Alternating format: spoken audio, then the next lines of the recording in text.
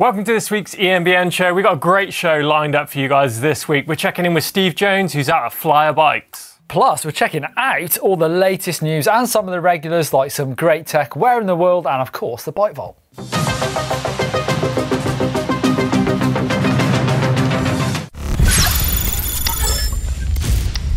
Steve, have you seen Steve recently, Chris? I haven't. I haven't seen him for quite a few weeks. Every single week, it seems to be a guy from GMBN. You, Martin, Rich. Where is he? He's actually out at Flyer Bikes at the minute, checking out all the latest hire and rental fleets. So check this out. Hi folks, welcome to Switzerland, the land of tractors, cows, sheep, chocolate and oh, red kites. Over there, Flyer e-bikes. Upstairs, Fit e-bike systems. And in here, we have Fly, Flyer e-bike Flaggerkers. Actually, I'm not going to talk about that because that's all about maintenance. No, it's the rental and test fleet, which I'll introduce you to.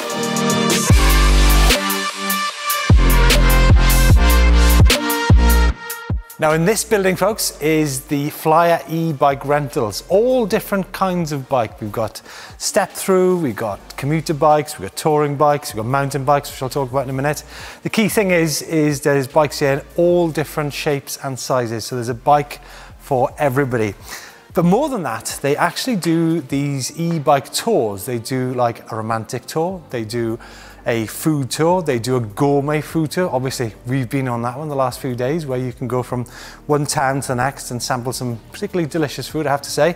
Um, and you can go in groups, you can have work parties, you name it, they do it here. And the cost, well, that depends on the t- whether you go for a, a straightforward e-bike rental or the tours, but um, I'll leave the link uh, down below.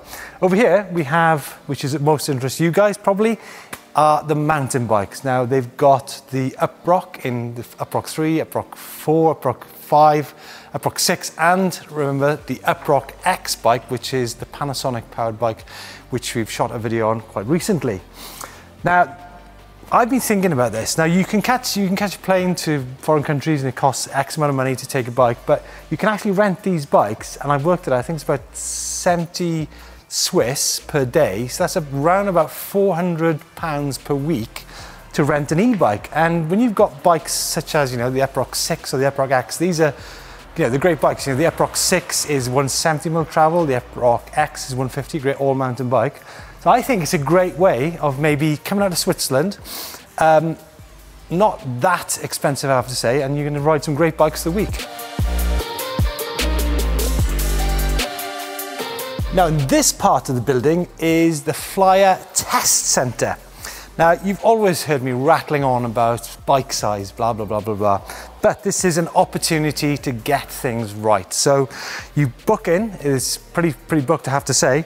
And in this building, you can take different size bikes, you can take different spec bikes, you can ride a Bosch Uproc 6, you can ride a Panasonic Uproc X, compare the two, compare sizing, compare the amount of travel. Remember the Uproc X is 150 all mountain bike. The Uproc 6 is Bosch powered and has 170 mil travel. So, I mean, so many different variables here, but this is definitely a place where you can uh, answer the questions which you're thinking about when it comes to buying your new e-bike or your first e-mountain bike. So definitely a great place to come to. So remember, you've got to book into a place like this. And uh, yeah, there's riding literally 10 minutes away. So what a great opportunity. Now, obviously, you've got the mountain bikes, you've got the touring bikes, but this is actually one of the most popular bikes. This is the Goroc, or Goroc, yeah, Goroc. Uh, this is an SUV, it's got um, a comfy saddle, it's got mud guards, uh, and it's also got a range extender, which means there's actually 1,250 watt hours of juice in the tank of this bike. So you could, you could probably cycle across the Alps with that much battery, right? Remember, you've got uh, helmets which you can use. There's water, there's drinks. There's an obviously there's a Rivella Swiss drink. And what about this for the ultimate charging station? Look at it. There is literally hundreds of battery chargers and batteries. Wow, this really is someplace. So there you go, folks. Uh, flyer rental and bike test. And as you can see, there's some customers here who are eagerly awaiting to go and test some bikes. Um, I think some of these people will actually be their first time on a mountain bike out on the hills. So uh, yeah, if you've never been mountain biking before, this is the place to go to. Wow, pretty good stuff going on there, Don, isn't it? You know, flyer bikes, rental bikes, hire bikes. Looks pretty good to me. Definitely a good idea. Right, let's get right in there with some tech. One Up, who are known for their pretty ingenious little inventions, the tools that go in your steer tube, all that stuff, have come out with some e-bike components. First one is this new e-handlebar. It's carbon fiber, but it's 20% more compliant than other carbon bars. So kind of I guess kind of more well compliant. It's more flexible, more Remove sort that of buzz, forgiving. I That's it, it on your arms. Also, they've got internal routings for Shimano, so Mm-hmm. keeps all those cables away. They go inside your bars. Super nice. Like Take that. away all those little elastic bands that hold all those cables on. Can sometimes get a little bit messy, can't it, as well? Exactly. I like that. I love the internal routing without it being too hard. I like it. Yeah, definitely. Price wise on those, uh, coming in at $250, 800 millimeters wide with 35 mil rise. So nice little setup there. But that's not the only component they're doing, right? Yes, they're doing a chain guide as well. Again, for Shimano, so it goes uh, bolt straight onto the motor by the looks of it. Sort of Yep. an EP8 uh, system. Well, it looks like it works on all the Shimano systems actually. Uh, directs the motor, super simple, loads of different colours, $65 and 45 grams. No, it's got that flip over chip as well. So when you're maintaining and working on that chain, you can flip it over without a tool. So it saves all that faff of having to remove the chain guide. Hate doing all that. had so- to do that to calibrate my uh, Specialized motor the Did you? So you have to take your chain guide off, Yeah. Take the chain off and spin it at 60 RPMs. Really? Whilst it's plugged into the computer. Hey presto, fixed it. Sounds a good workout. Time something different, Chris. Mm-hmm. These are the new era e-bikes by Mastix. Have you seen these bikes before? I have. There's kind of, I think a couple of shows back, we looked at a bike from Hyper, which was kind of along these lines, but it was a single speed version. This, I think it's kind of like a melting pot of every single bike out there by the looks it of a it. BMX? Is it a fat bike? Is it a mountain bike? Is Road it a bike. road bike? At that chainring on the front. Yeah, it's big fat tyres, 20 inch wheels on it, uh, suspension fork up front, disc brakes on there, rear hub drive, big chainring by the looks of it. A 20 inch fat tyres, I reckon that could be quite fun. Could 'Cause I be don't good. Mm-hmm. exactly what the sort of what they're used for. Yeah, I think it's just more for like cruising around town, having fun. You know, some people aren't in, you know, all about shredding the trails. They just want a fun bike to cruise around on. Do some sweet wheelies. To me, I think that pretty much does tick the box. Nice. If you love EMBN and love watching e-bike videos, then why not support the channel by uh, checking out some of our merchandise? That'd be super helpful. Would love it if you did support us like that. Uh, so new range of EMBN core t-shirts like that, but different Just colour. this one, yeah, got khaki, got blues, reds, loads of colours in there. Get in there and check it out. Coming up this week on EMBN, we've got a great week of content as always. What we got kicking off, Don? This Friday, things you should never do on your EMTB. Wow, quite a few of those going on. And on Sunday, I'm heading up to Revolution to go and ride the biggest jumps I've ever hit on my e-mountain bike. Have you done this already? Not yet. It's in the pipeline. so Ooh, a bit scared about I've this one. stood next to that jump at Revs Bike Park. This is the biggest takeoff and biggest downslope I've ever seen. Really, should be a fun day out. Let's see how it goes.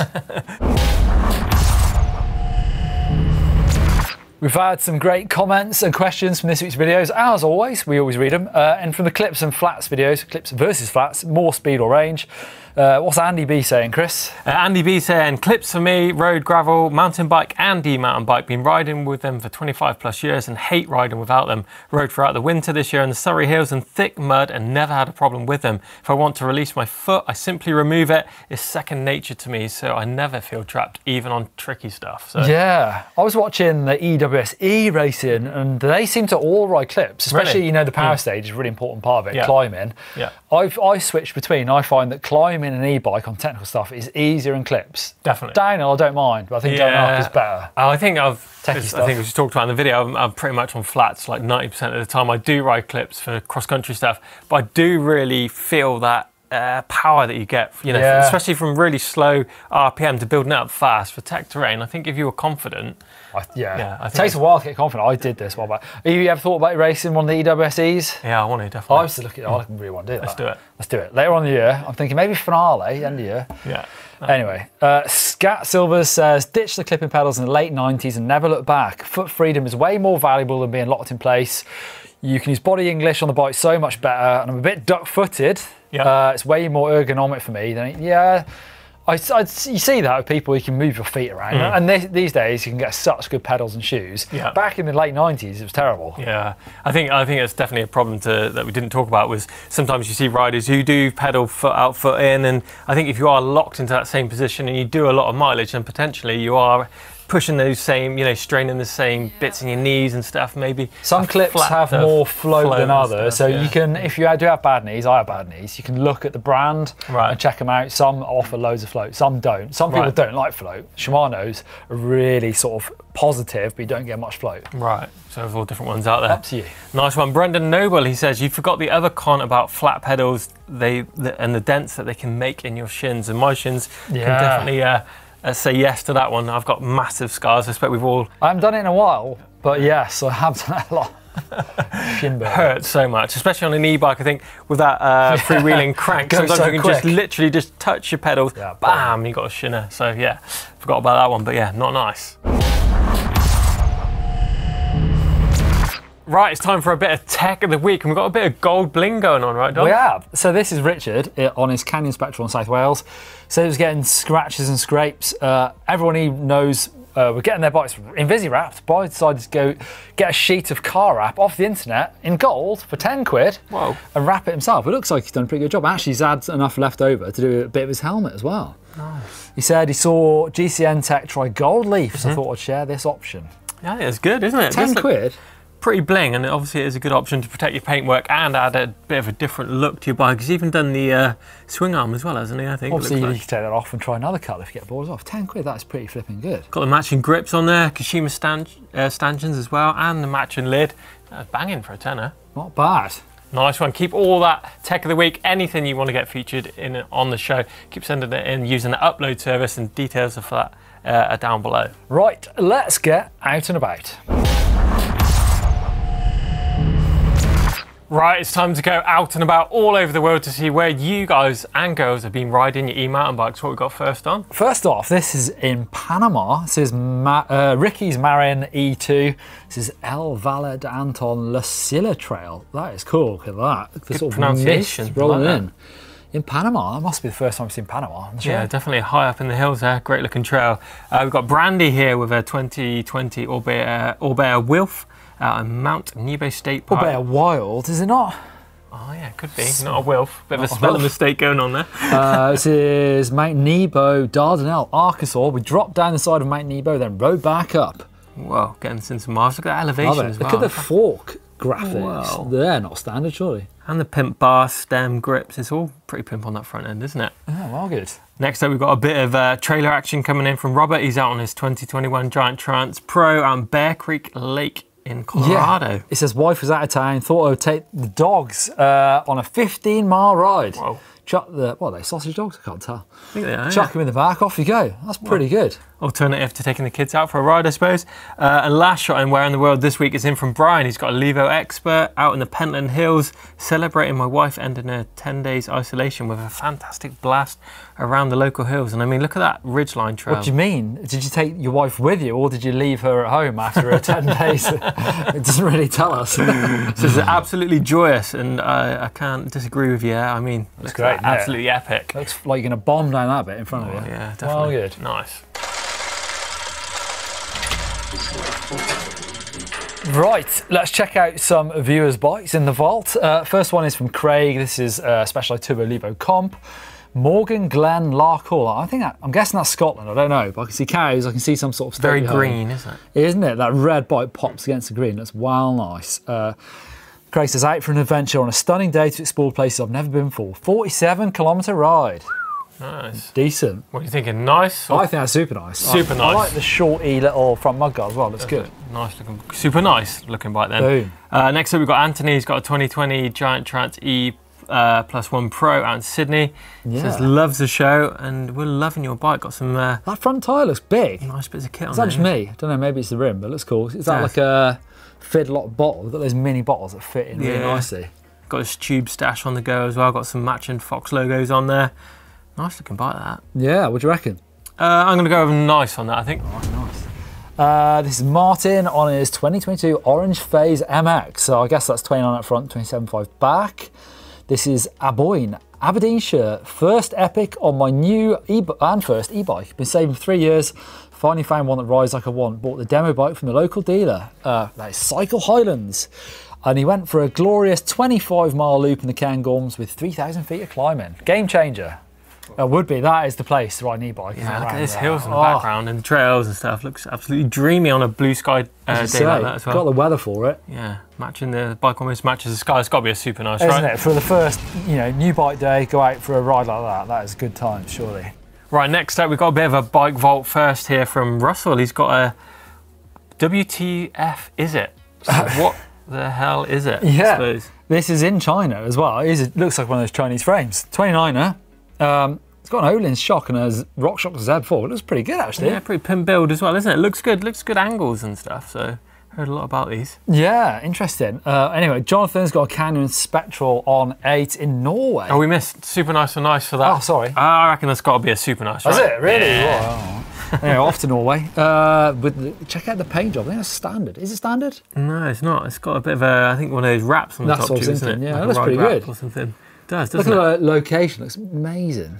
Bomb down. Dying to try and ride my e-bike in some nice snow. Well, maybe a bit more dusty trails at the minute, but winter is Yeah. so much fun on a on an e-bike, definitely. Nice, I would Nice. say. Yeah. Uh, next up, we've got Pappy here. He's got a Haibike all mountain 2.0 out in Malmo in Sweden. Put on a pair of 3.0 27.5 Rocket Rons to see if the battery lasted longer. And yes, it did. And the grip was fine for him too. So a little bit Yeah. of modifications going on. Got the rear mudguard on the go. Nice looking. Just riding the bike on the beach Yeah. in Sweden. It's Ex- very Scandinavian. it is. week. External battery. I think that's a nice shot. Yeah. Uh, here we go to South Tyrol, uh, Lutago, I think it's called. Mm-hmm. Stefan in Italy, uh, just a normal after work bike ride. Check that out. It's a Cube Stereo Hybrid 160. That's a bit different to the hills in Bath, right, Dom? That, yeah, my after work ride does not look like that. Very green looking bike, bit of camo almost actually. Super nice, surely. Definitely. And the last bike in this week's bike Whoa. vault comes in from uh, Per Attel. Uh, he's got uh, Norway Poly again. Vorme. Vorme? How do you say that? Voima, I think. So yeah, well, I've not. Have you seen one of these in the bike vault before? I've not. I haven't. Uh, you buy these a frame set, don't you? That's you a good can. looking bike actually. Got access kit on there. Yeah. Yeah, Got some drop funky angles. the gears. Swing arm's a bit funky on it, isn't it? With It's a- no chainstay on there. Yeah, it's crazy looking angle. High pivot, Yeah. 29. I bet that bike bombs. Interesting. I like that. Nice. I think that's definitely going to be a super nice the reckon so. final bike in the bike vault. Uh, but as I mentioned earlier, if uh, you've got any uh, videos, pictures, anything you want to get involved on the EMBN show, make sure you use the upload service and get involved in the comments box down below. What do you think about those bikes from Flyer that Steve's checking out? Yeah. Uh, get involved in the merch shop as well. Get in there, get your bargains, get kitted out ready for the summer. And of course, give us a thumbs up if you enjoyed it. Make sure you subscribe to us here on EMBN and we'll see you next week. See ya.